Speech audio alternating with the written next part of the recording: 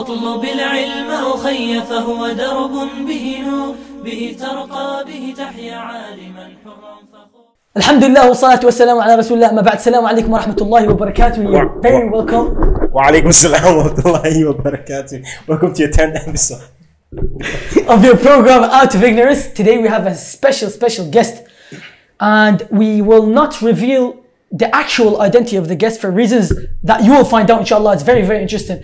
Uh, but I have to say, I had a conversation with this brother earlier and through our conversation I realized that I thought I was tested before. But I wasn't really going through much, to be honest, you know? So if you can introduce yourself. Assalamu alaikum. Uh, my name is Musa. Uh, I'm from Dublin and I converted to Islam when I was 16 in 2015. MashaAllah. How old are you now? So, How old are you now? 21. MashaAllah. So I know Musa from a long time ago, but Musa unfortunately blanked me for a year and a half. yeah, that happened. Um, I was going through a bit of a rough time when that happened. yeah. Akhi, I want to ask you a question. What made you interested in Islam?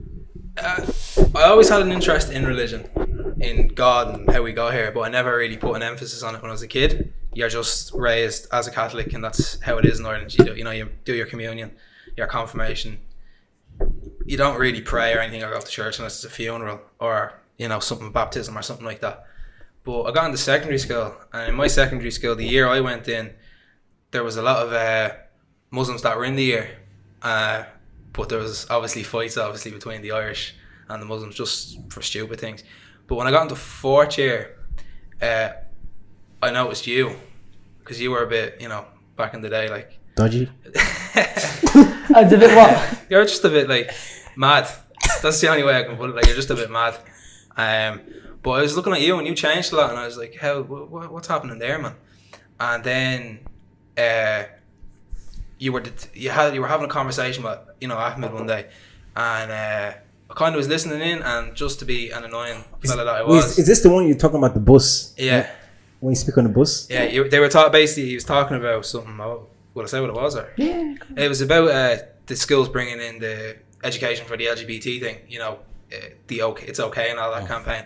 Basically pushing the stuff down kids' throats at that age, and uh, then just to be me, just to annoy you, I just decided to weigh in and go against you in a debate. But you were kind of doing Islamic ideals without me realizing it was Islam.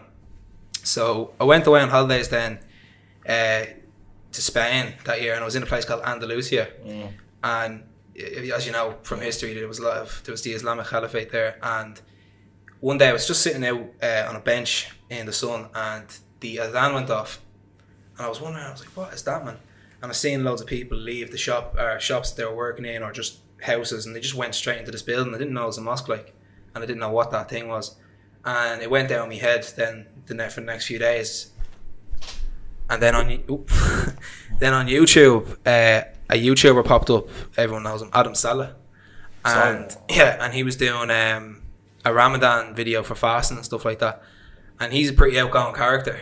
So for someone who knows nothing about Islam, and they just think it's a bunch of strict, crazy people, you know, you're not gonna look at it. But when you when I seen him, I was like, oh, he seems normal enough. So I decided to just look into Islam. Uh, and I was reading through it and I was like, God, this kind of makes sense. This makes sense. And then I put it off for a couple of months, just stopped looking into it. But sitting in class one day and Abdul Rahim, you know, him, he was in my class. And we were sitting there and uh, I just turned around to him out of nowhere. It was history class. And uh, I said, Do you have a spare Quran? And he was shocked. He was like, What? A Quran? What do you want a Quran for? And I was just like, oh, I'm just interested in Islam and, and everything about it. And he says, Yeah, I'll bring one in tomorrow. So school ends anyway. And we're going up the road. And uh, next thing, I was like, Oh, I want to do the Shahada now. And he was like, What? Are you sure and all that? And he ran through the words with me and it was done. And I said, Is that it? you know, just, Is that it? And then he said, uh, Yeah, you're a Muslim now. And I was like, Oh, cool. And he was real, like, delighted and stuff. And then the next day I went in and it was prayer, Jumma prayer. You were doing the khutbah. I remember that. And uh, everyone, the embrace I got, man, was mad. Because I was this kind of jokes that I'd say, like, jokes that were a bit out there, a bit racist, a bit ignorant. And everybody was shocked. Do you know what I mean? And I don't know about you, but most people were just like, "What? You? How are you Muslim?" You know? And oh, but it was great. and then some things happened that year, and I stopped practicing because the teachers they were getting involved. One in particular, I won't say who it is, just in case. And uh, I just stopped practicing for a bit, and then I start practicing again, and then stop. Same things would happen. Parents getting involved, and my parents are really anti-Islam. You know, I don't think they mean to be, you know, racist. I think it's just a cultural difference. They think Islam, and they automatically think, you know, Syria, Pakistan, all Yeah, these kinds yeah, of yeah, places yeah. And they're getting the culture mixed up with the religion. And I've tried to explain it to them before, but they freak. And it got so bad to one point where it was just they threw out all my Islamic books, burned me Quran, all that kind of stuff. So I just stopped practicing completely. And then But how did you pray? If you don't mind me asking, how do I pray? how did you pray? Like under Yeah. that pressure. So I go into my room, but there was no lock on my door, so I couldn't lock it. So I'd go in and I'd just be right up against the door, and I just kind of had me heel against the door just in case they'd open.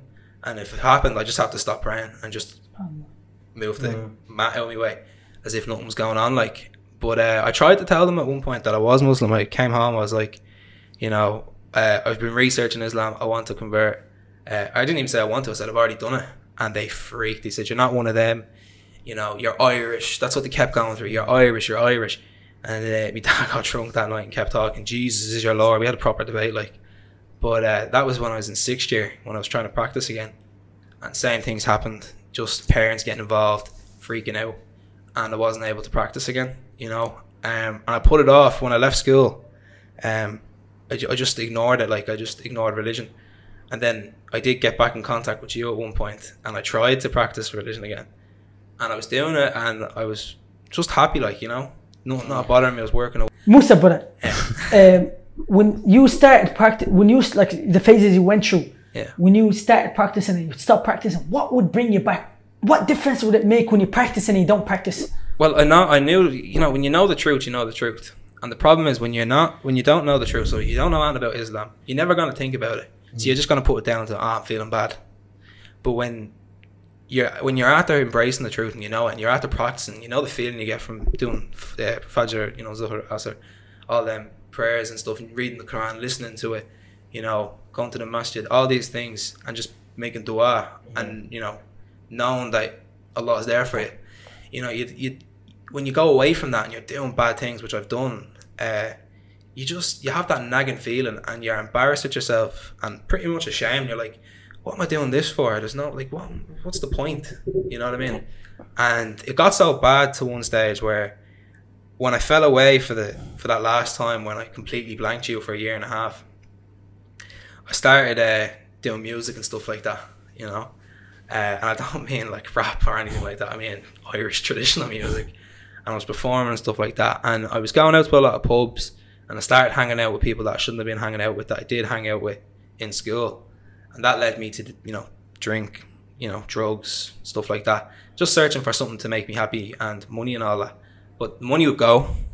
It's- mm. You know, you just just go and drink or food or something like that. It's, it's not really bringing much to your life. All the, you know, whatever clothes, whatever you have. And you're just there, like sitting up at night. I remember sitting up at night, and you just be there thinking to yourself, "What am I doing, man? What's the point?" Like, and it got so bad to once the at one stage where I just, you know, was getting depressed, man, all the time. But uh, I was trying to practice, and stuff happened again, and that's where it completely went off the rails. I remember uh, you were gonna get married. If you don't mind That's, asking that's about when that, it went down. That's when I went off the rails. because. I remember at the time you were gonna get married, things were working out pretty well. At the time when I was talking to you, I remember things were working Yeah. out very well. I remember you were happy at the time, practicing, alhamdulillah, about to get married, a young married Muslim man. That's great, bro. You were doing great for yourself. Before the marriage, yeah. Do you know when you, before you converted to Islam, yeah, you acted in a certain way, yeah. You had, you had a certain behavior. Yeah, After Islam, you change your behavior. Yeah. Yeah, Your parents noticed that, yeah, they did. and they, were- They didn't care. They thought it was weird. I started doing well in school and stuff like that, and I was exercising a lot more. And I wasn't. I used to. I still do, which I'm trying to give them up. But I smoked cigarettes at that age, at 16, like, and I gave them up as well. And they were kind of, "What's going on here?" And I stopped hanging out with certain people, and I was hanging out with Hudayfa and a lot of other brothers, and that freaked them out as well. And then, Were you mo- were you kinda were you like to your parents? oh no, I was great. Yeah, I was perfect to my parents. I was respecting them. Like, it's only after they forced me not to practice that I started becoming a little bit of a tyrant to them. You know, going out partying and all this kind of stuff, and coming home, and if they'd say something, I'd just be like, "Would you ever?" You know, just But did they not appreciate the fact that you were more mannered to them? Because you know Islam places a lot of emphasis on treatment of parents. You know what I mm. mean? Train your parents the correct way. Did they not realize that change? No. I tried to explain it to them. I, I've I explained everything, not just the religious aspect, but how you treat your parents, how you treat your family, you know, how you act in general, the way of the mannerisms. But to them, it's what they see on the media, and you're not going to change their views because it's what they've grown up with. Do you know what I mean? And it's just, it's so yeah, it's a bit disappointing. Disappointing, you know. Did, did, did you do more of telling them than your actions? Like, No, I done both. I was acting and I was telling them. Whenever they'd I'd come home, they were like, "I hope you weren't with them, you know, mad so and so," and I'd be like, "Yeah, I am," and blah blah blah, and Be comfortable, bro. Say whatever you want to say. You know what I mean? and they just they they'd freak out and they wouldn't, you know, they'd just be disappointed or not disappointed. They'd just be angry, like, and I'd be trying to show them, you know, through my actions, but it just doesn't work, and that's the way they'll always that's the way they'll always be. Do you think, uh, like, obviously you know your parents love you, yeah? Yeah. But do, do you, uh, are they, do you think they're justified in you be, being afraid of you getting in the wrong crowd because what they see in the media? No, You don't think they're justified? no. I think they're just ignorant. I think I I- I'm not sure, but now that when you're saying it, I'm kind of trying to visualize it. I think it's they're scared of what they don't know. Yeah. You understand what I'm trying to say? Do you think like if we got to know them, they say we got they got to know us on a personal level, Yeah, we- that we perception change? Have you ever tried to inter- uh, Yeah. introduce your friends? Yeah, I've had I had good friends as well. There was a fellow I was friends with. He's real sporty and real well mannered, like never disrespectful. I'd hang around with him a lot, and we went to do charities and stuff like that in, in town. Like we do it a lot, and I was trying to show them, like you know, this is the type of friend I need, and uh, they couldn't see past his race or religion, no matter what, and that was the bad thing about it. You know, they like none of my parents or my siblings have any friends that are not white. Yeah, you know, yeah, yeah, yeah. and I'm not like trying to say, oh, yeah, they're horribly racist. Or, they, I don't think they mean to do it, but it's just the way they are, and there's no change in them because everything they read and all that. Do you know what I mean? Even if I try and push it, they fight back, and it just turns into a row. What was it like when your stuff were thrown out? Like, like how, did you just grab the stuff? Oh, yeah, they just out they like came. So what happened was I came home from the mosque one day, and my ma had been rooting in my room because she knew she, she she was getting suspicious that I was hanging around with Muslims again, and she took all the books in front of me. Like she went up, me, her, and my dad grabbed all the books, the mats, and just threw them, threw the threw some of them in the bin, and then they were burning stuff out the back, threw the Quran and a few other books in the in the in the fire. Do, do you know what this reminds me of so far? Which uh, I think Allah subhanahu wa ta'ala says in the Quran. Do they think because they say they they believe that they won't be tested? Yeah. So you probably had your life was probably easier before Islam. Would you say? Yeah, Yeah. So people accept, oh, I, I accept the religion of the truth now. Why are we still being tested? So maybe this is your test. Um, Oh, 100% is this test. it's a test, Definitely. but at the Oh. same time, if I was to let them know, it would just jeopardize the religion again, and I wouldn't be able to practice because they would forcibly stop it. Like, do you know what I mean? And I can't move out because financially, I'm not there yet. If I was, I would have no problem saying, "Here, listen, this is what my religion is, and that's it. If you don't like it, whatever, you're still my parents." Hmm. But I can't do that until I do move out one day. You know, hopefully, I Sure. get a decent paying job and I'm able to Inshallah. live on my own. May Allah bless you with a righteous wife, akhi. But it's going back to the marriage topic, Yeah. because that was that was a big thing in your life. Honestly, it was a big thing. It was a big topic in your life. Yeah. You know what I mean? And I remember at the time you were you wanted you were gonna move out of the country, bro, and you had everything so step You had everything planned. Yep. One, two, three. I'm gonna do one, two, three. Yeah. And then things changed. That's when I stopped talking to to to Musa. Yeah. You know? So I had, I had a decent bit of money saved, and in my head I was like, you know, I was practicing a lot and I was doing really well, and I was hiding it, but it was nobody was getting suspicious because I was real careful with practicing. Like I wouldn't tell them where I was going. I just say I'm going out with these people, you know, friends that I used to hang out with years ago, um, just to throw them off. Like, but I met this girl on that app Muzmatch. Any of you ever heard of it? right? Now, look, I have no way of meeting anybody. Well, yeah, You know what I mean? Because I wasn't born Yeah. into it. Yeah. But uh, I was going through it and I landed on a revert. Now she didn't wear a hijab or nothing, which didn't bother me. I was like, oh, maybe I can make her wear it, like you know, kind of Yeah. not make her, but like Yeah. talk her into Convince wearing her, it. yeah. yeah, yeah, convince her to wear it. And uh, we were talking and we were getting, you know, and that's where you catch the feelings. Right. You know, that's where it goes, haram. Yeah. And she was like, "Oh, we should get married," and I was like, "Okay."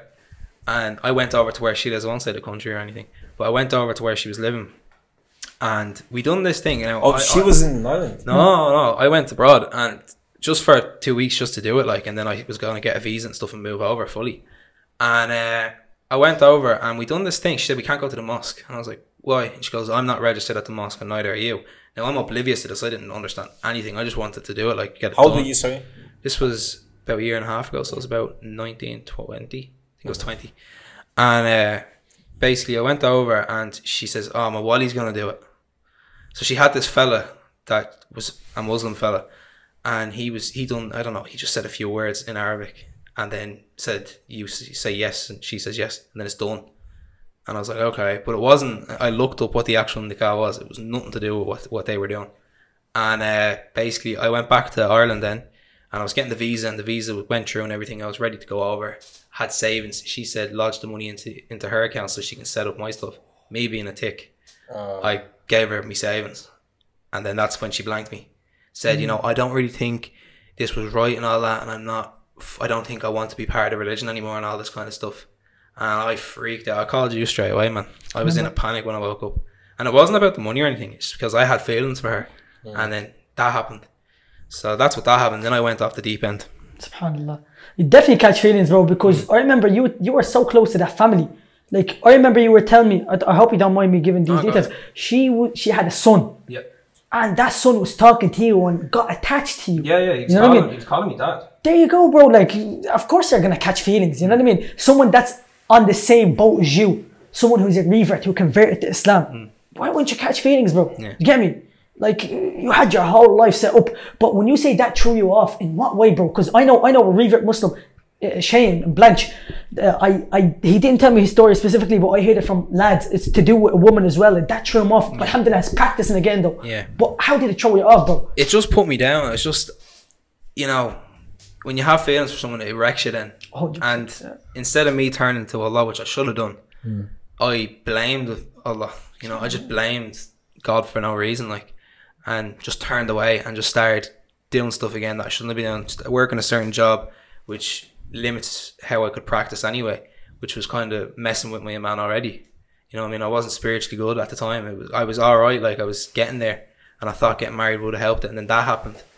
So basically went off the rails. Then I started going out drinking again started smoking weed, hanging out with them lads that I shouldn't have been hanging around with, and that led me to do a harder drug, which I only done maybe a couple of times during the time I was hanging out with them, but it was cocaine, and uh, yeah, it got it got to that stage, and I was getting depressed, real depressed, and I remember going to Amsterdam, you know, for this trip thing, and I done a psychedelic drug over there, and that freaked me out. I was freaked. I looked in the mirror and I was seeing stuff that sh- that would scare anyone, but it wasn't like you know mad shapes or anything. I seen the iblis in my own face, like do you know what I mean. But I think that was my own psyche saying you're acting this way, and I panicked and I ran under the sheets and stuff like that in my room, and I threw the covers over my head and I was just freaked, man. And uh, then after that, I dropped it down my head again. I said, "I put that to the side, man. That's you know, don't think about religion." And I went home and I was happy again for a few weeks. Started a new job. And I was working away. Then it gets to January, February time there, just start of the year, and I got to the stage where the depression started to hit again, and I was getting suicidal. And I had already attempted suicide the year before. Not attempted, I didn't actually go through with it, but I had the intention to do it. I went down to these woods near me with a rope, tied around my neck, tied around the tree, and I was sat, sitting on the branch. And something inside me was just like, you know, it kept telling me I kept wanting to do it. I was looking at it, I was crying my eyes out. I wanted to jump. I wanted to just end it. And then something inside me was just like, nah, there's no need to do that, man. Just get off the tree. Just go through with it. Like, Not not go through with the suicide, go through life. Like, so I got off the tree, and then I was grand. That was in between, say, October of last year to November was that bad period, and then it went away for a bit, and then it came back in March, February, March, and I went to a trip to America, and I was all good. I was all happy, and I was chilling, but I was overweight. Like I got to like twenty stone, twenty one stone. Uh, I'm after losing a good bit anyway. But I was so depressed and suicidal that I remember getting home from America and just sitting in a corner in the in the bathroom, like just sitting down on the floor crying, man. and I was looking at a bottle of bleach, and I picked it up, opened it, and I was two seconds, like I literally picked it up to go for it. I was about to just neck it, and again something just came in my head and was like, "Nah, don't do it." And I, I came out of the bathroom that night, and I was just like, "I'm gonna change, I'm just gonna do something different." And I tried to do it by just getting healthy, you know. So, oh, I'm gonna exercise now, you know, change my psyche, change my mindset, pushing religion away, just forgetting it, saying. Because I was embarrassed, like I didn't want to reach out to any of you, like to you or any of the other. Because I remember I tried to look for Musa. He was gone. He disappeared. It's like he, he doesn't exist anymore. You know what I mean? Like Musa, I, I wanted to get through to Musa on social media. Yeah, I, I I deleted all the social media, and it wasn't because I, was, I didn't want to talk to anybody. It's because I was embarrassed with the way I was acting. I couldn't call myself a Muslim with the way I was acting. I was ashamed, like, and I didn't think anyone. And I know it's the shaitan whispering in my ear, but I didn't think anyone would want to talk to me or want to help me. They wouldn't want to be my mm. brothers. Like they, you know, they just say, "Oh no, you're not Muslim. You're kafir. Go away." But you see, the thing is, as a Muslim, no one knew hanging around with you. You know what I mean? Yeah, If I look down to you for sins that you do, the, the, I, I, I'm going to be held liable. Hmm. Do you know what I mean? That's a sin in itself. I shouldn't look down on you. I should feel bad. My obligation is to help. Know. Do you understand what I'm trying to say? It's always the shaitan man that tries to push you away from your good friends, tries to fool you. Oh, they're not gonna, they're gonna look down on you. What are they gonna say about you? How are, they, how are you gonna let them see you in that state? You know what I mean? Yeah. But sorry, go ahead. You were But yeah, so I, I was just embarrassed. I didn't want to try and reach out to anybody, and I just hid from everyone. I remember I used to be panicking if I went out and I seen someone, and I'd be like, "Oh no, is that one of the brothers?" And I'd be mm. like, I'd literally go the other way just in case. I'd be freaked, like, because I didn't want them to see me like that. And there's a couple of times where I did see people when I was out on a night out, which I shouldn't have been doing, but I was doing it anyway. Um, even though I was trying to be healthy and change my mindset, I was still going into drinking just just to kind of numb, Socialise. numb the pain. Not not socialize, numb the pain inside Oh, yeah. because it would pop up every now and again, and that was my escape. That was my release. And then I went out and basically one night there were I seen two brothers that I knew, and they were talking to me for a minute, and I was like buckle, I was drunk, and I just started talking to them, and they just blanked me, man. They were just like, oh, whatever, see ya, and walked off. Like they didn't even want to know me, and that was another part. I was like, I was just embarrassed, and you know, and I didn't want to reach out to anybody. And then it got to it got to uh, say May there, and obviously the lockdown and stuff like that. And I was sitting there one night, and it was like two in the morning, half one, two in the morning. And you know when you're with your own thoughts, and I was just getting healthier and stuff like that. But I was just sitting there, and out of nowhere, just raw depression just overtook me, and I just started crying again, just for no reason. And I just wanted some sort of help, and I just dove on the ground head first and just started calling out to God, like. And I didn't, you know, it wasn't. I didn't say, you know, Allah or say any prayers. I just put my head down, was just like, please help. Mm. Do you know what I mean? Bring me out It's. Like, I don't want to be like this anymore. And then just small things were happening where, little, you know, I was kind of feeling a bit happier. But every night something would pop in about Islam, and then a couple of weeks later, your podcast pops up on my YouTube feed, which it shouldn't have. For no, like, there was no things on my YouTube feed that were Islamic at all. There was stuff that So- was really un-Islamic, and he, you pop up, and I was like, "Is that Hudayfa?" I said, "Nah." And I just remember watching episode one and all that, and I was like, "Right, I'm just gonna try practice again." And I was dead inside, man. There was no feeling. I've only been practicing the last whatever, starting to practice again the last month or so, but I remember just starting to do it again. I retook Shahada, um, you know, just to kind of reaffirm it. Went in, had a shower, went out and prayed uh, Zuhr. And I just started doing it like again, kind of, I've missed prayers here and there, but I'd keep watching Islamic reminders and stuff, getting back into it. And then Eid, I decided to uh, just make Instagram and just text him. I wanted to just say, you know, Eid Mubarak Khalifa. And then that's how I got here now on the podcast. just started talking again. And that's one of the du'as I kept making during that month is take away those who are bad for me and give me righteous companions. Do you know what I mean? I just kept saying that. And obviously, I'll turn up heart to make my heart firm upon your religion. Yeah. I mean, you know, when I was uh, in uh, secondary school, I was I was there wasn't much Muslims. My friends were good, uh, but they weren't like practicing. So I remember I made a dua to Allah to do Allah find me righteous companions. They went to UCD to follow them. Yeah. mashallah. But I want to ask you one question. Uh, do you know in in terms of your depression, were you really good at hiding it? Do your parents? I just put nobody no, nobody noticed. I didn't want anyone to see weakness because my dad's a real strong man. Do you know what I mean? Like he always taught. I mean, parents always talk saying, "Oh, if you have these things, you'll speak about it." But I can't because he's my dad. and He's re- he's a real strong person. Like you know, he's not an emotional person. He, like he's not harsh or anything. Like, if he if he has a few beers on him, he starts getting real philosophical. Like, but he's um he's not an emotional person. So like I've only ever seen him cry once, and that was for a death in the family. Um, but I was just hiding. I just smile every day, and then go up to my room, bawl my eyes out, and that was it. Or just just start, you know, go sleep, sleep for ages in the day, and just blame on a hangover or something like that, or go drink, smoke weed. That was a big thing for a while, smoking weed. You know, do you, from what I got, sorry, from what, too loud? I don't know. I kind of looked quick and then my neck proper hurt. I want to get one of them ones. Do you think weed is addictive? What? I don't think the substance itself is addictive. I think it's an addictive trait. I think you know you pick up a habit. I don't think. I think it's just a, it's a mental thing. And do you believe it helped you? For the first week, after that, it just became a habit. I had to do it. Stop And doing even when I was smoking it, I'd go deep into my thoughts, and that would make it worse. So it wasn't really helping. It helped for one week, you know. You just, you know, oh, I'm Snoop Dogg walking around listening to rap, you know, that kind of thing. Listen, you were saying, from what I got from your story there, yeah? Don't touch this because it makes a lot of noise. I know you're not. Okay, from what I got, yeah, from what I got from your stories, you were like, you know, you knew you were having problems, yeah. Then you try find solutions. Okay, then, okay, you try exercise, or maybe you turn into alcohol or drugs. Yeah. But you knew like th- the real answer. You know what you're looking for, but you're too afraid to take. It wasn't that I was afraid. I wasn't afraid to go towards it. It was a nagging thing in the back of my head, knowing the truth and not doing anything about it. But it was also I was embarrassed and ashamed of what I had been doing, mm. and I was afraid of other people's reactions. So I was afraid, oh, what if I get caught praying like? And that's a mad thing, getting caught praying like. You wouldn't Yeah. ever be worried about that. But that was in my head. What if I get caught praying? I can't even make wudu like, and like I have to bring a pint of water up, and for Fajr to make wudu, just to, because the tap is a pressurized tap, so you can hear it through the house. So they'd they'd be coming to check what I'm doing, and it's the same for Isha because they go to bed late uh, or early.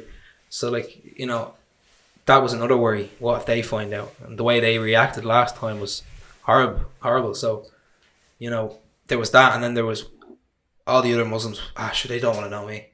What would they want to know me for after the way I was acting? Like they know I was up to no good, you know. And that's that's the shaitan whispering in your head, keeping you away. But then once you keep, once you ask the way I did when I was in that bad state, and I put my head in the ground and just asked, that's when it just it's like a, a wall just gets broken down. Yeah. Do you know what I mean? And it's in front of you, and you just there's nothing standing in front of you now. You can go and start doing it, but you start getting when you start practicing again, stuff happens as well. Yeah. More doubts creep in. You know, I was getting bad dreams and stuff, getting weird feelings around me, and uh, then I just just went away over time, just making dua and praying every day. Tahajjud prayer was the biggest help as well. I done that one night and made a lot of dua, and that after that night, it was just everything was just perfect. You know what I mean? Obviously, some little tests here and there, Yeah. and I know there would be bigger ones, but that was one. That was the thing that really helped as well. Alhamdulillah, I haven't missed a prayer like since I started practicing again, Alhamdulillah. so I'm happy with that. May Allah keep you firm, bro. May Allah keep you firm. To be honest with you, you said something to me today that really hit some strings. You were like to me, when you prayed, because you came here straight away, like, uh, I haven't prayed Asr. You prayed Asr, uh, Musa prayed Asr, and then he was like to me, bro, you were talking behind me as if it was normal, it was nothing. It's like this feeling, I haven't felt it in such a long time. Whenever I'm praying, I'm so vigilant. What if someone comes? What if someone does this? What if someone does that? SubhanAllah, bro. Like, it's I, I can't say I've Yeah. experienced that, bro, to be honest. You know what I mean? And I remember I was telling them, bro, and I, I reiterated, you know what I mean? Diamonds are made under extreme pressures and temperature. And the harder the test, the better the result. Yeah. That's what we always say, bro. Prophet Muhammad Sallallahu Alaihi Wasallam says in, in, in a Sahih Hadith, he says that the most people that are tested are the prophets. And then the people that are below the prophets. Then the people that are below the prophets. You understand? Yeah. The more beloved you are to Allah, the more you're going to be tested. Because when you get tested and you persevere in those tests and you pass those tests, you're gonna your your level is gonna elevate. Yeah. Do you understand what I'm trying to say? Yeah, every time in the last since I started practicing, and every time something creeps in, something like a bad thought, or you know, waking up for fajr, or even if I'm kind of if I'm out and I need to make it back for a prayer, I'm just like I don't pull it off and I don't let the doubts mess with me. I just say "A'udhu billahi minash shaitanir rajim," and I'm just like, "You're not getting me this time, man." And that's another dua I make.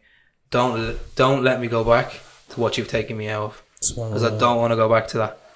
That that depression. I don't know if anyone has out of us here has suffered with depression or anything like that, but man, when it gets you, especially when you're not practicing, like if you turn away from God, man, it wrecks you because you're just in a bad ma- place mentally. When you're when you're practicing, you never get the like you might get anxiety, but you won't get depression like I had it because you always have God there to guide you and help you. Mm. You always feel that presence. You feel the presence. Like after prayer, like I was dead inside for the first say week or two of practicing again. Couldn't feel it when I was praying, but I just kept persisting. Mm. And then there was that day I done Tahajjud prayer, and I don't. I remember doing that. Oh man, the feeling I got. It was like when I first prayed when we done Jummah in school. Uh, the day after I took Shahada, it was like that prayer because I remember going to maths class after that Jummah prayer after taking Shahada. I remember sitting in it and it was like it's just the best feeling ever. You know, because I smoke weed, I know what that's like, but it was better than that. I was sitting there, I was just in class. Oh, I just want to chill out, man. I just want to sit here and relax. You know what I mean? And I got that after doing Tahajjud, and then I keep getting that feeling now when I pray. Do you know what I mean? Obviously, there's sometimes I have to be vigilant at home. I'm kind of my attention's kind of going away a little bit, but now I don't really like. I'm saying if they walk into the room, I don't care. I just don't want to make it obvious to them, just in case something happens. But if it does, if they do walk in and my head's on the ground, I'm not breaking. Masala, I don't care. There's a principle in Islam is that uh, says uh, the, that pushing away harm it takes precedence to bring in benefit. You understand? So if you believe telling your parents or your parents finding out cause you worse harm, and it could lead you, that pressure could lead you to stop practicing. You shouldn't tell them. Yeah, no, understand? that's what I was talking to before I texted you that day. I, I did text two brothers that are prominent figures in the Islamic community, Abdurrahim Green, Yeah. and has anyone ever seen a Way Life SQ? Yeah, yeah, yeah. YouTube? Yeah, I texted him as well, just for advice, like if it, if it's okay to keep it secret, you know, and what should I do? All the, you know, just a few things like, and uh, Abdurrahim Green gave me a really like because he's a reaver as well, but he gave a really sturdy response. Just be firm, you know that kind of thing. Just tell them. There's no point in keeping it secret. And I was like, oh no. Do you know what I mean? I was like, if he, but then way of life, Eski, I'll show you the what the voice clip he sent me after. But he was just like, you know, it's okay, and you know, I'm sorry for what you're going through. But he says you have to understand you're closer to the Sahaba than you know he is himself, just because it's the, what I'm going like the way it's I have to hide and stuff like that. That's what went they went through, and that's another thing I look at when I look at the Sahaba. I'm like, and the Prophet Muhammad said, alaihi. So, so. I'm like, my test isn't as hard. You know, obviously it's hard in terms of modern day, uh, being a Muslim, you know, or especially a revert in a place like Ireland. When you look at him, you're like, man, oh, I wouldn't have been able to do anything, do what he go through what he went through, and to build Islam the way it went through. I know it's all from Allah, but you know, to stand firm like that, don't I don't think I would have been able to do that. Musa, you said that uh, in you know one way to keep practicing is the to learn more about your religion. Once you learn, you move away from doubts. Yeah. Yeah. You told me you recently started a knowledge con. Yeah. Yeah. How was that going? It's good. I haven't watched as much as I should because I'm kind of I'm obsessed with watching uh, Brother Muhammad Hijab on YouTube. he is knowledgeable as anything. I love watching. It's his debates are good, but I love watching him actually talk. You know, because he's just Yeah. real knowledgeable. Like some of the words that are a bit big for me, but you know, and uh, some other guys on YouTube that I do watch. But I have been watching the Knowledge College. I don't really watch his YouTube channel, Dawa Man. So I do listen to Mufti Menk and you know them kind of guys, and it's good. Alhamdulillah. Alhamdulillah. But see, like, see, uh, there's a hadith where Prophet Muhammad Sallallahu Alaihi Wasallam says the person, in order for you to, like, uh, Shaitan Rajim, three characteristics. If they were in a person, he would find through them the sweetness of Iman. You know what I mean? And then obviously the scholars, they say this sweetness is not like any sweetness. This sweetness is sweeter than the sweetness of sugar. You understand? Yeah. You know? It's a beautiful feeling that only those that have felt it can explain it. And I know through you, you said you prayed Tahajjud and you felt that feeling. He said three people, like three, if you have these three characteristics, through them you'll taste the sweetness of Iman. Number one, that you love, uh, that you, when you love a man, you love them for the sake of Allah. You love a person, you love them for the sake of Allah. They're doing good. You understand? Yeah. I love this guy because he's doing good. He brings me closer to Allah subhanahu Yeah. wa ta'ala. You know what I mean? Uh, second thing is uh, الشيطان الرجيم لا أحب الرجل لا أحبه إلا الله um, الشيطان الرجيم. Oh, the first one, sorry. The first one is that Allah and His Messenger is more beloved to Him than anything else besides them. That's number one. Number two is that when you love a man, you love a man for the sake of Allah, for the reasons we mentioned. And the third thing is that you'd hate to go back to kufr, you know what I mean? After Allah has saved you from it, just like how you'd hate to be thrown in the fire. Honestly speaking, would you say now, after seeing how it was like, you know what I mean? After, you know, stopping practicing, would you say you would hate to go back to Yeah. that way? I'd hate it because it would break me again. Do you know what I mean? If I ignored God, it would just break me again. If I if, if I ignored Allah, it would just wreck me again. And I'm not I'm not doing that. I'm not letting myself go. You know what I mean? If it comes to the point that my parents do find out, which I don't want them to know until I'm stable and able to live by myself, like in that financially, like you know, if it does happen before that, I'm just gonna have to stand firm and I'm just gonna say, listen, if you don't like it, I'll move out and I'll just I don't know where I'll go, but I'll just go somewhere. So because I'm not letting it happen again, because it just it, it I just be gone. May Allah keep you firm, bro. Allah subhanahu wa ta'ala says whoever That's another thing I wanted to say about you. I appreciate you, bro, because all the like obviously I've only met all of tonight, other except for one lad here. Uh, he knows who he is, but uh, Hudayfa, uh, all the brothers that I was friends with, a lot of them when you're trying to talk to them again, they blank you. You know, especially when I went away from Islam and come back. Uh, except for you and another brother, Abdullah. But you, every time I text you, what's up? As if I hadn't been gone anywhere. Just long time. How are you? Hope you're well. Do you know what I mean? You're not. You never shunned me or anything like that. But that that never. You know. Then I think to myself, right? So I do have a proper friend because I had friends. You know that uh, they were. They'd say you're. They're. Oh, we're best mates and all that. But when you needed them most, they wouldn't come near you, unless you wanted to, you know, buy them something or go out drinking or something. But you, you just text you straight away. Yeah, uh, like that night with the about yeah uh, with the marriage thing. Literally, I called him in a panic, and I don't know what he was doing, but he just dropped everything, got Mustafa, and he was like, "I'm on my way." Do you know what I mean? And we hmm. went and had a chat and stuff. thing is, bro, that's only the obligation of a Muslim upon his Muslim brother. You know what I mean? That's only an obligation. Like you, you might see it as something special, but that's that's that's the least I can do. Do you understand what I'm trying to say? And that's why you should never let the shaitan creep in and make you think like, because wallahi, even even if you're born a Muslim, has nothing to do with being a revert. You know what I mean? Because these weaknesses, they're in every human. You know what I mean? We all share certain characteristics, no matter where you're from, what background you're from. You know what I mean? He's gonna come to you because every one of us, even if you're practicing, you're born to a Muslim family. When you fall off the track, the shaitan is gonna come to you. Stay away from these people. They might have seen you Yeah. doing X, Y, and Z. Yeah.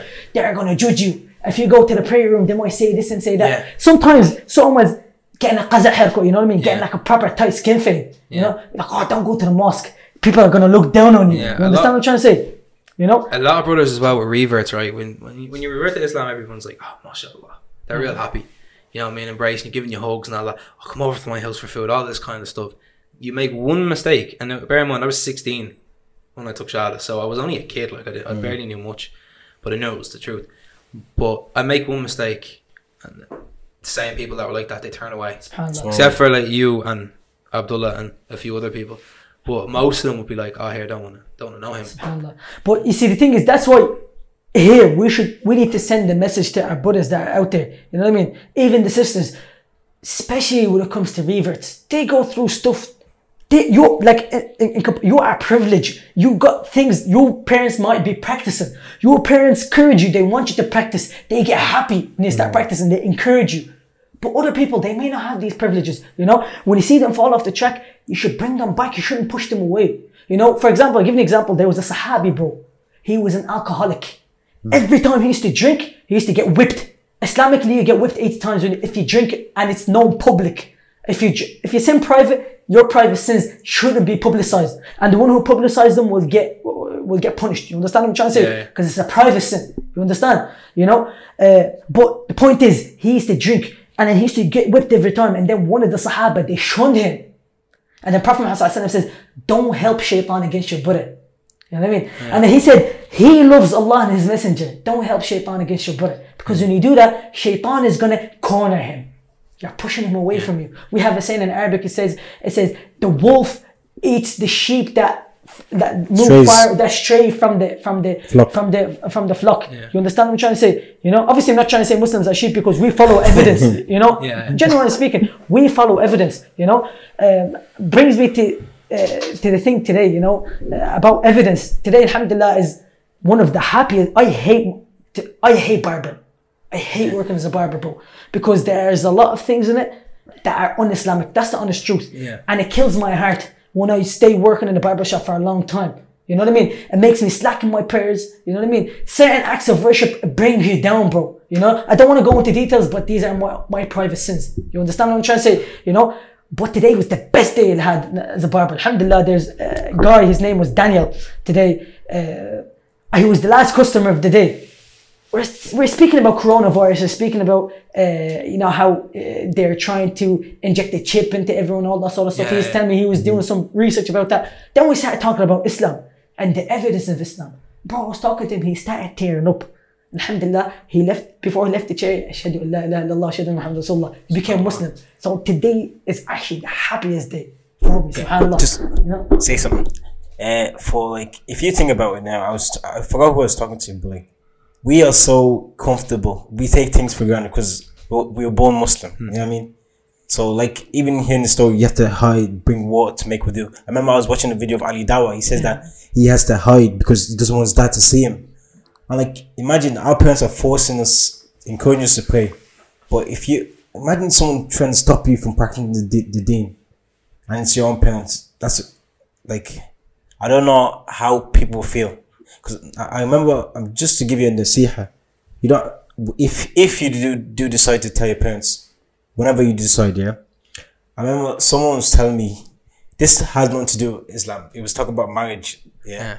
And he was saying that his mom didn't want him to marry a girl from a different tribe, a different tribe, yeah. And so one day he goes to his mom, Mom, do you want the best for me? And she goes, Yes, of course, I want you the best. So, do you want a woman to take care of me, to uh, raise my sons, to do all the good things? Yes, yes, I, yes, I want that for you, my son, yeah. And then he goes to his mom. So, what if I find out in a woman that is in this tribe? Are you gonna say no? So she goes, No. Then start thinking about it. So from that story, I just want to say, when you do decide to tell your parents, ask them, what do you want from me? Do you want me to be happy? Do you want me to live a good life? Do you want me to respect my parents? Do you want me to uh, be a benefit to society? If they say yes, and then ask them, what if I get this from Islam? You know what I mean? I'm not, I'm not saying say blatantly because it's probably way, way difficult than, than I, I make it out to be. But maybe that's a food of thought. Maybe try ask them, what do you, what do you, what do you guys want from me? You know what I mean? Yeah. Just what was the point that I was trying to make earlier when I was speaking about the, the other guy, because I remembered you were saying you were you listened to me and Ahmed Yeah. on the bus, and what we started to do myself and Ahmed every time we go on a bus, we intentionally open topics and we intentionally speak loud. They got you. Right, bro. We started intentionally. We started doing that all the time. Me intentionally. in. Oh, bro. We intentionally speak loud in order to get because people love these topics and it makes sense. Do you understand? Get them to listen. And the guy that I was speaking to today, Daniel, alhamdulillah, that, the guy that converted, I ask Allah Lit- subhanahu to keep him firm. Lithuanian brother, yeah? Uh, the Romanian brother. The Romanian brother. Um, uh, his name was Daniel there. So what happened is, he was telling me that he had an encounter of Muslims before I spoke to him. Yeah. And he was saying that he met them in prison in England. And he was just fascinated with the, with how much they stuck to their religion. They knew the truth and they stuck to it. He came from a Christian background. He's like, I knew in the Bible says you shouldn't eat pork. You shouldn't drink, eh, you know what I mean? You shouldn't, uh, Mary used to wear hijab, says you should wear hijab in the Bible. You know what I mean? Uh, all that sort of stuff. He said, just seeing them stick to that fascinated me. And he was saying, hearing them reciting the Quran, although they didn't give him direct da'wah, hearing them reciting the Quran really touched his heart. You know what I mean? And he was saying, he used to feel something here every time he'd hear them pray. You yeah. understand? So the point I'm trying to make to whoever is listening, Prophet Muhammad says, "Ballighu anni. You know, tell mm. the people about me, even if it's one verse. Because you don't know, bro. Like, see these people in prison now, or the ones that were in prison. You know what I mean? May Allah forgive them for whatever they've done and that led them into prison. You know, um, they don't know that this guy converted today.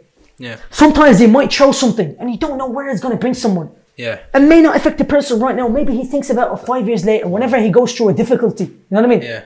It, it comes back in his head. You know what I mean? That brings And me it- to mind about. Remember, I was sorry to cut you off. Remember when I was in America? I said when I went to on the trip, Yeah. uh, when I met that uh, Muslim fella. Bro, tell in the story because that's that's that story is, is deep, man. So- like I said, I was at a bad time, but I went out drinking one night to a club when I went out when I went to America, and I met this Muslim guy. He was with his girlfriend for her birthday, and I remember talking to him, and I said, "Where are you from?" And he said, "Iraq," and I was like, "So are you Muslim?" And he's like, "Yeah," and I said, "I know a lot about Islam." I was drunk, like. And he was like, "Yeah, right." And I just turned around and recited Surah Al-Fatiha. I, I was drunk out of my mind. I don't What know were you saying, bro? What? What were you saying to him? Oh, I just turned around and I was like, oh, I know. He goes, no, yeah, yeah, right. I said, I do. And he goes, prove it then. And I went, Alhamdulillah, Rabbil Alameen. And I started doing the whole thing. And he was just like, he just stopped dead in his tracks. Didn't say nothing. Just said, I have to go. And just walked out of the bar. Left his girlfriend on her, on her birthday. And just let, he's only about 25, I'd say. And he just left. Just went. I think that's when he realized he's probably drunk and he's like, And I Oh didn't really take God. much notice to it Yeah. when I done it. But now thinking back, I'm like, oh, okay. he just left. Yeah, he that, just that dropped person, it. Just that left. person probably has a story. Uh, You know, they were oh, looking. stop, man! Like someone, someone who doesn't look Muslim. You know what I mean? Uh, like generally speaking, that's that's a generalization because Islam is not stuck to a nation and it's not stuck to a race or ethnicity. Islam is for everyone. But generally speaking, people think they have a misconception that Muslims are brown. You know what I mean? Oh. You know? generally speaking, you know what I mean? So he You're might have Paki or Arab. One- Hundred percent, bro. That's what I Hundred percent. Like so, he might have seen Musa, and then he recited he recited Surah Al-Fatiha. He's like, what? The point is, bro. Like, I can imagine myself being in that situation. I would have freaked out, man. I'd get sh- bro, I would have freaked out. Like, Subhanallah. terrifying, man. You know? Yeah, but I didn't think about it until just there with, with you today. I didn't really didn't really click, and then I remembered it. I was like, oh, may- maybe that had a bit of an effect on him. He probably has a story to. Get him on the podcast. this this crazy Irish guy walked in and recited Surah Al-Fatiha. Subhanallah. So, uh, going back to the point where you mentioned doubt. yeah, when you start practicing, and that is true, when you start practicing, especially if you're new, a lot of doubts start Yeah. to creep in. You know, there was this guy, his name is Tariq. He became a Muslim through Faisal. Faisal, he's doing da'wah, he's in uh, Discover Islam Ireland. He's doing da'wah. Uh, Tariq, brother, that's Scottish. Uh, he started practicing, and bro, every single day he was come on doubts, doubts, doubts, doubts, doubts. You know what I mean? Alhamdulillah, there was an answer for every question he asked. But the point is, when you don't have knowledge, you're going to have a lot of doubts. And the only way you're going to remove doubt is by knowledge, because the more you know about something, the more you're, the more certain you're going to be. So my advice to to Musa would be, learn more, akhi. Learn more, brother.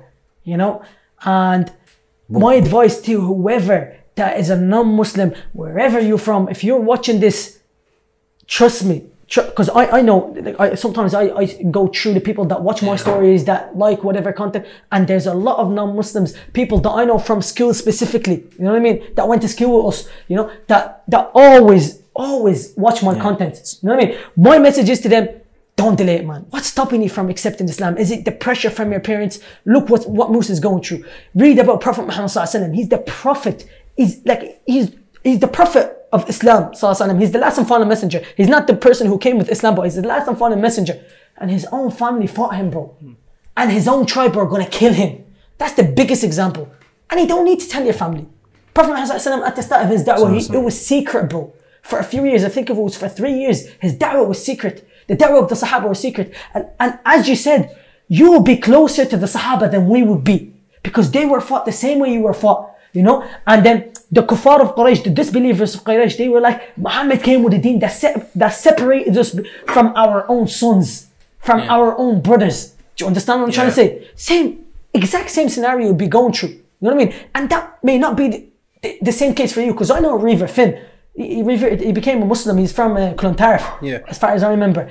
He became a Muslim, bro. Alhamdulillah. And his mom was with it, and his mom was supporting him all the way. You know? And there's a video that I shared recently on my story where a woman was like, uh, uh, she's an African American woman. Her Yeah. son asked her, What was it like when you found out I was Muslim? I She's that, like, yeah. I, I was devastated. You know? But what are you like Yeah, now? I might, I might become. You know what I mean? Yeah. She was like, I'm happy now because you changed, you know? I seen the change. And she's like, I, I might become Muslim When I see stuff like that, I'm like, oh, just alhamdulillah, you're, you're so blessed, man, just Yeah, to, for your parents to be like that.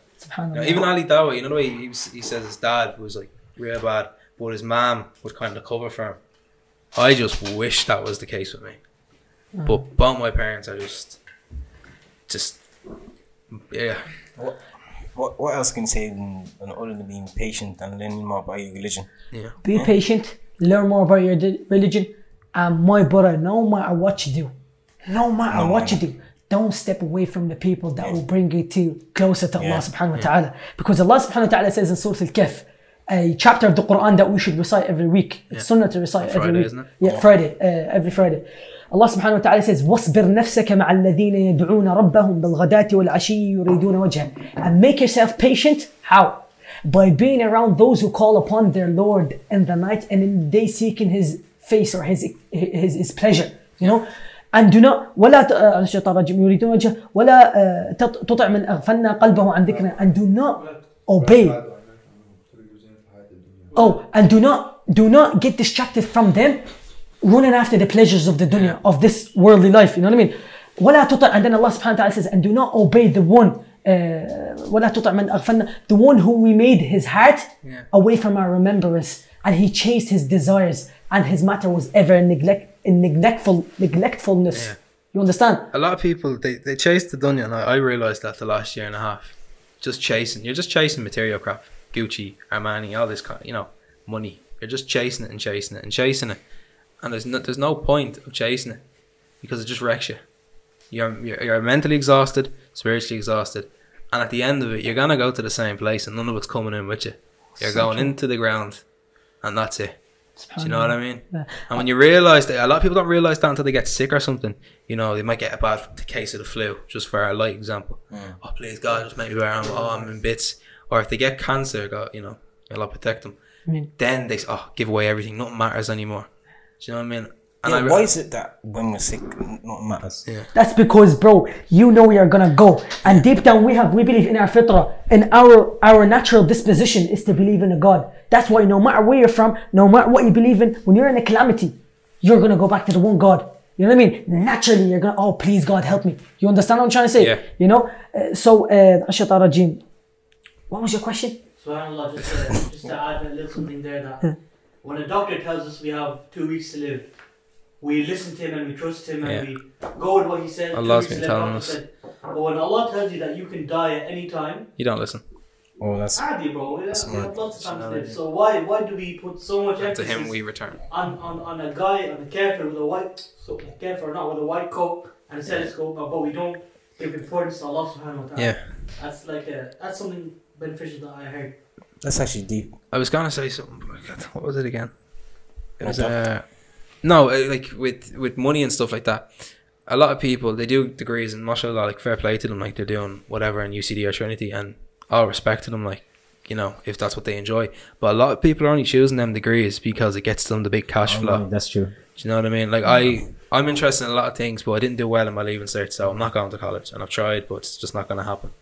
So inshallah, they will get me started with the barber and stuff, Inshallah. and I just be happy with making a living that way. I don't need to do anything special. Do you know what I mean? I can just research stuff for knowledge for myself. I'm interested in history, and you know a lot of stuff like that. So I just do it we, we live in the age of opportunity. Do you know what I mean? We don't, I just be happy with a decent living that I can provide, provide for my family. I don't need a big six figure job or something or a big important job. Something to keep you going. Something to a lot of going. people, a lot of people chase after feeding their body, Yeah, but they neglect their and soul. it's ego as well. You know what I mean? lot of it's egotistical. Oh, 100%, bro. you know, I'm in Trinity or I'm in UCD. You know what I mean? That's true. That's true. And And I'm not, I'm not disrespecting. No, I get that's you. the no, Those- no, no, that's no. not what I It mean, makes you know? sense, bro. I go- One hundred percent makes sense. know Wallahi, makes sense. You know, and then also pleasing the parents comes in. You know what I mean? And having some sort of status comes in. You understand what I'm trying to say? A lot of the people Back that I heard people in bars before talking, and they go, "Oh, what do you do?" And say the fella's a carpenter or something or a barber.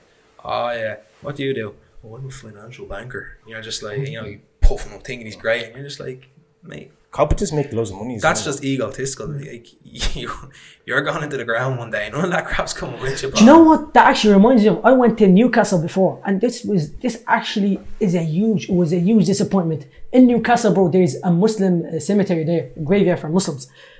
And I was disappointed, bro, because Islamically, according to the Sunnah, your grave should be max about uh, Level- uh, level. and, and and a like leveled. So max it, it should be like a an arm's uh, a handspan. Sorry, up above the, above the ground. You know what I mean? And he shouldn't even know whose grave and whose grave that is, in case that person is worshipped them besides Allah Subhanahu wa Taala, taken as an intercessor. You understand what I'm trying to say? But bro, I go into the graveyard and it says Doctor Professor something something with a big fancy thing. But he's dead. What's that gonna benefit him? Yeah. Like the guy is dead. Plus it's expensive as well. And bro, they spend money. Wallahi, they spend so much money on beautifying the grave. What's the point? Spend that money to give it to charity to benefit the person. That's You what know that I mean? person would want. Be- yeah, benefit. There you go, because that's the only thing that's gonna benefit him. What the hell's Use it for Hajj. Professor. Go on Hajj and pray for them. if the person didn't go Hajj, go for Hajj instead of him, you know? Oh, like dig a well. You know what I mean? For him, put it in his name. He continues to benefit from it as long as people continue to benefit from it. You understand? What's, why are these, you know, flowery, you know, titles gonna benefit you in you're Once once you chase this dunya and you get no reward from it, but heartache, that's when you realise, ah, here, it's meaningless. Yeah. It's n- But not all people are fortunate to stop. Yeah, a lot of people keep going to you know even atheists. They're like, oh, why God, why when something bad happens to them, like you know if something affects them, financial loss or whatever, whatever it may be. You know they go, oh, why God, why then something good happens? Ah, sure, look at roll of the dice, look look at this and all this kind of stuff. You know, oh, I'm lucky. You know what I mean? a- It ain't luck, pal. Uh, You know. Actually reminds me of a beautiful, beautiful poem. That's in Arabic. And it starts with لا تأسفن على الدنيا وما فيها فالموت لا شك يفنينا ويفنيها ومن يكن همه الدنيا ليجمعها فسوف يوما على رغم يخليها So he says do not uh, لا تأسفن على الدنيا do not feel bad for the losses of the dunya and what's in it. You know what I mean? Yeah. for certainly death will take you will finish you and will finish the dunya as well you know? And whoever's whoever's interest and main goal was the dunya for sure one day he's gonna be forced out of it. He's gonna Yeah. be taken out of it by force. And you're gonna when you're forced out of it you're gonna take nothing with you.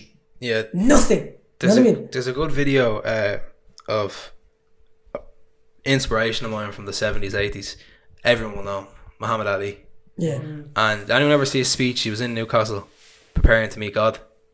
Yeah, You Yes, ever hear his yeah, speech? yeah. Not just not not just the explanation of why God is real, explanation of you sleep this amount of days. So this mm. is it equals up to this amount of years being asleep throughout your life. You travel this amount, that equals to that. You you know, you work this amount. What do you do in between then? You have to prepare to meet God. You know, you retire or whatever. Throughout them three times, you have to make your not just for knowledge, not just the oh here look look what I know. Do you know what I mean? We're reciting a few verses and all that. Yeah, look what I know. It on the chest.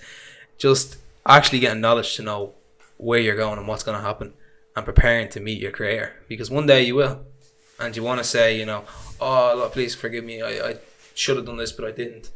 Or do you want, you know, have good deeds and you know, good iman that will get you into Jannah one day. Inshallah, that we all are granted Jannah. But you know that kind of, you know, and it's a great video. Everyone should watch it. It's called uh, Muhammad Ali preparing to meet God. preparing to it's a beautiful video Yeah, it's a beautiful, beautiful video. beautiful, beautiful. He was an he was an absolute inspiration. He was. love he was, he love was. him. Yeah. Very articulate, very logical person. Yeah, for someone who was uh, considered mentally retarded when he done his skills stuff, he actually was. He, he the IQ, you know, the IQ score they do in America. He scored so far below that he was actually. They would have considered him like uh, mentally retarded, like, SubhanAllah. and first, like he could have been beaten any poet. Never mind Shakespeare. you know what I mean, he, he had it up there. He was up there. He had a way with words. MashaAllah. MashaAllah. Look, do you have anything else with Man, I I'm just I'm just weak considering like uh, my f- my tests and my sins and stuff like that. I'm like, is it really that big, or is my desires as does it? Uh, what am I trying to say? Is it that important to me?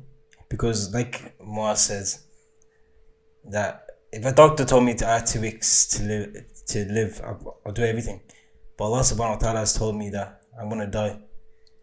I remember there's a time in which a man came to the Prophet sallallahu alaihi wasallam. He says, "When is the uh, when is the hour?" The Prophet sallallahu alaihi wasallam he didn't answer his question directly. He said, "What have you prepared for?" Now that's the question I have to ask myself. What have I prepared? So I'm gonna start thinking about that because when I you said walking to do, uh, going to, for, waking up for Fajr and holding a cup to do wudu. What's my excuse? Not waking up for Fajr on time or quicker or not be lazy when no one's stopping me. You know what I mean? So Allah's gonna ask ask me what I did with my time. You know what I mean? So that, that's a terrifying thought, especially if I'm not being pu- pulled down. You know what I mean? So I really benefited from what you told me, and I hope Allah Subhanahu wa Taala makes it easy for That's you. That's what this was about. Yeah. I just wanted if I, if there is anyone, you know, Muslim or non-Muslim or even just reverts who are going through a tough time, just I hope you get some sort of reassurance from Mm-hmm. what I've told you. Do you know what I mean? No matter how bad it gets, Allah is always there. because Do you know what I mean? To come back- always there. to come back what to what I said again, just that I remember. Allah subhanahu wa ta'ala says, just because you say La ilaha illallah, just say just because you say, Oh, I'm a Muslim, Yeah. doesn't mean you won't be tested. You know what I mean? People, people kind of a lot of people say, "Oh, I made dua, but Allah hasn't given it to me."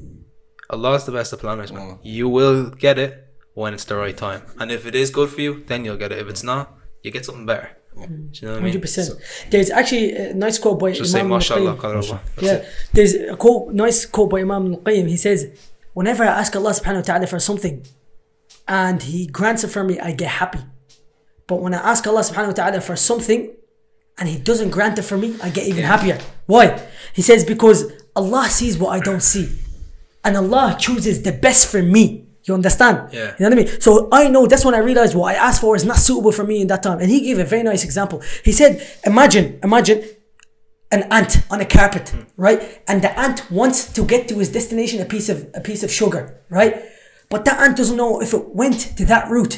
You know what I mean? It's gonna fall in water, whatever, it's gonna die. You know what I mean? So it wants to take that route, but something like an obstacle comes in its way and prevents it through going through the easier route. And she has to take a longer route to get to the to, to, to its destination. You understand? The ant may see that whatever that dropped in its way as an obstacle, but in fact, it's not an obstacle. It's a blessing. Yeah. You understand? You know? A lot of people when they are when something good happens, every you know everyone's like, mashallah, you know, pray- Uh, alhamdulillah. But what you should say is, when something bad happens, you should just say, Alhamdulillah, mashallah, qadrallah. Because it is, it's the qadar of Allah. You know, Yeah. if something bad happens, just say Alhamdulillah. Because it was meant to happen. You know, even if you think it was bad, it was a it was a test or it was a lesson in some way. So don't fail that test just because you're disappointed or angry or upset. You know what I mean? Just go through with it. That's all. That's all I can offer. That's the only advice I can say, really. Jazakallah khair. It's been a pleasure having you on, bro. Jazakallah khair. Jazakallah I really benefited, man. Alhamdulillah, alhamdulillah. And we should definitely stick with each other because Prophet Muhammad Sallallahu Alaihi Wasallam says we're stronger with each other, just like a wall that is mm. strengthened by each brick. Trust me, I won't be going anywhere. Uh, inshallah, inshallah, Inshallah. inshallah. Jazakumullah khair, and we hope inshallah that you benefit. Assalamu alaikum. Assalamu alaikum. Assalamu alaikum wa rahmatullahi wa barakatuh.